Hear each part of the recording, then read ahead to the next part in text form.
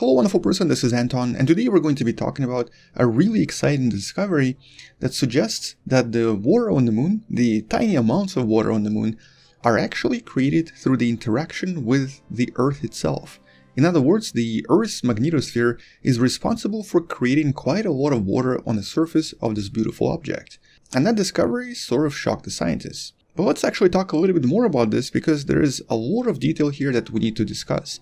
First of all, we know that the origins of water, even on our own planet, is still a bit of a mystery. We're not entirely sure if water came from the asteroids, if it came from some other space source, or if it was already here when the Earth was being made in the beginning of the solar system. What we do know, however, and especially something that we've learned in the last few years, is that water seems to be absolutely everywhere. We've discovered water on moons, we've discovered water on planets, pretty much all of the planets, including some of the hottest and some of the coldest ones, and everything from the rings of Saturn to some of the most distant objects in the solar system is basically full of water. So water should not really be that rare and should not be that difficult to find. Not surprisingly, even though originally most scientists believed that moon here was actually extremely dry and basically devoid of water. But in the last few years we've discovered that this was not the case. Here the water was discovered in various ices, ice deposits. It was also discovered in various deposits on the surface in specifically different rocks and the presence of water hidden in various types of locations on the moon has actually been discovered by many different satellites.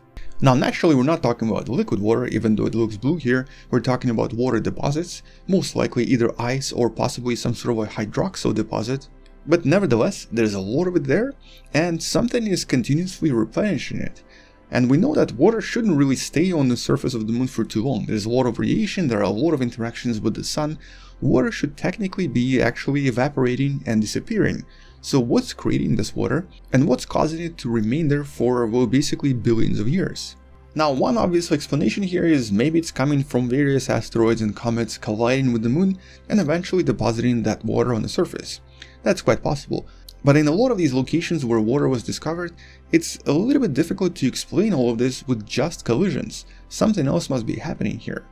Now, a few years ago, uh, actually more like a few decades ago, it was proposed that possibly the sun can be responsible for creating water. And more specifically, the positively charged hydrogen ions coming from the surface of the sun, or basically the solar wind itself, when it actually comes closer to the moon, it will start interacting with various hydroxyl atoms present on the surface of the moon. Hydroxyl is OH, the stuff coming from the sun is H. H plus OH gives you H2O. And so one way that all of this water could have been created is basically by being bombarded by all of the solar wind for billions of years. But if this is correct, there should be an easy way of checking all of this, and there actually should be an easy way to find out if this is really what's happening here. What is that way, Anton, you may ask? Well, magnetosphere. Earth has a very strong magnetosphere that actually prevents the solar wind from basically damaging things on Earth. And we know that Moon once in a while passes through the magnetic tail of our planet, which we can actually try to simulate right here in Universe Sandbox, and for approximately 3 days it stays inside the magnetic field of planet Earth, thus protected from the solar wind. During this time, at least theoretically, there should be basically no new water generated because all of the solar wind coming from that location is going to be blocked by the magnetic field of planet Earth. And so one way we can try to measure all of this is by looking at the surface of the moon and trying to see if the amount of water on the surface changed before and after the moon passed through the magnetotail of planet Earth. If the amount of water changed, it means that the solar wind indeed produces a lot of the water. And well, as you can probably guess, that's actually not at all what the scientists discovered and they discovered something that surprised them quite a lot. Because it turns out when the moon finished its passage through the magnetotail, the amount of water on the moon replenished to the original levels. In other words, the magnetosphere of planet Earth helped the moon produce more water on the surface, which means that the charged particles inside the magnetic field of planet Earth, and this is of course also positive ions, were landing on the moon, were interacting with the surface of the moon and various hydroxyl molecules, and were also producing even more water.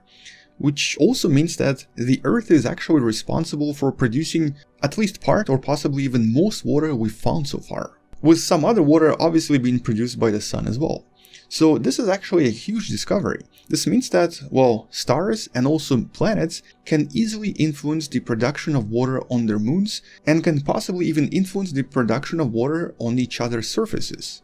Now, theoretically at least, the scientists actually expected half of the water on the surface here to disappear after those three days. But instead of reducing in value or evaporating as the scientists expected, the amount of water was continuously replenished by the Earth's magnetosphere as well and thus remained relatively similar to what it was before. Which suggests, of course, that both the solar wind and the earth wind, the wind from Earth's magnetosphere, are more or less both responsible for all of the water we're observing on the surface of the moon. Now all of these observations are actually relatively new and all of this is based on the amazing Chandrayaan-1 mission by India that was already able to create a lot of really precise geologic maps and of course a lot of other interesting maps including the hydrologic map of the moon with the main goal for all of this mapping being a, uh, well essentially a research for the perfect location for a potential lunar base in the future if we find a location that has a lot of water, a lot of possible minerals and a lot of possible deposits, and the location that possibly has a lot of research value as well, this would most likely become the point where we're going to establish the new colony on the moon. But naturally, for this type of a study, we need a lot of confirmation and a lot of additional observations. And here, one of the possible explanations could be that, well, maybe the water was actually produced by something entirely different, and neither the solar wind nor the Earth's magnetic wind are actually responsible for any of this. Maybe that's why nothing changed. But because a lot of other previous missions have already established that the solar wind does actually interact with the surface of the moon and does actually produce some types of water on the moon, we know that this is most likely not the case. It is most likely actually formed by the solar wind and the magnetic wind from planet Earth. And so in some sense, what the scientists may have just discovered is now known as the water bridge, the bridge from planet Earth to the moon that's creating all of this water on the surface. And what would be super interesting to discover here is how all of this played a role in the formation of water billions of years ago. Because we know, for example, that when the moon was just created approximately 4.5 billion years ago, and for the next few billion years, it was extremely close to planet Earth, and it even had a much stronger magnetosphere, which is something we found out and which is something you can learn about in one of the videos above. And because the magnetic field and the magnetosphere seems to be responsible for basically producing all of this water on the surface, it would be interesting to find out if the moon and the earth somehow exchanged all of this water and were somehow responsible for seeding each other or possibly providing each other with a lot of different materials that only existed on one of these objects. In other words, it would be super interesting to find out if both the moon and the earth may have been responsible for exchanging a lot of different ions between one another and creating a lot of different things on each other's surfaces. And here we're talking about all sorts of magnetic particles escaping the upper atmosphere of our planet and back then escaping the surface of the moon and possibly exchanging and interchanging and then eventually depositing on the surface of each of these objects. So basically, this discovery just opened a completely new door for studying the history of the planet and our moon. But at the same time, this also will definitely help us plan the missions better, because now we know the magnetic field of planet Earth has a very different effect on the moon than what we initially thought. Something that a lot of future missions to the moon will definitely have to take into consideration. But I guess until we learn something else about our beautiful moon, or until we figure out what else the magnetic field of planet Earth does, that's pretty much it. Thank you for watching, subscribe if you still haven't, share this with someone who loves learning about space and sciences, and come back tomorrow to learn something else. All of the notes and all of the additional info are in the description below, and you can also support this channel on Patreon or by buying the Wonderful Person t-shirt, the links to which you can also find in the description below. I'll see you tomorrow, space out, and as always, bye bye.